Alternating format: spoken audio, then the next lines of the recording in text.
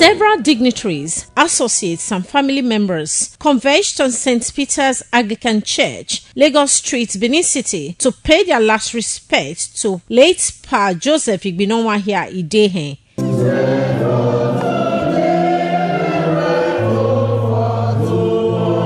In a sermon titled The Final and Great Harvest, Anglican Bishop of Benin Diocese, Peter Imasuen, who was represented by the vicar of the church, Venerable Moses Onuoke, said Christians should be involved in the propagation of the gospel, just as Pa Joseph Igbinomwanhia Idehen impacted positively on humanity. It is for somebody to get prepared.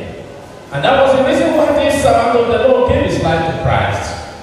He may not be a perfect man In his life, he keep coming closer and closer to God. Children, family members, friends, and associates, including the bosom friend of the deceased, Esama of Benin, said Chief Dr. Gabriel Sawa Igbinedion, and his wife, Lady Cherry Igbinedion, the managing director, Independent Television and Radio, Engineer Elvis Obaseki, Justice Odemigie, wifo retired, Chairman Oredo Local Government, Dr. Tom Obaseki, and other notable personalities paid glowing tributes to late Pa Joseph Igbinomwanhia Idehen. After the funeral service, the body of late Pa Joseph Igbinomwanhia Idehen was conveyed to his residence at Ugbor Road, GRA Benin, for interment at the graveside where a retinue of Anglican priests offered prayers. We pray and consecrate.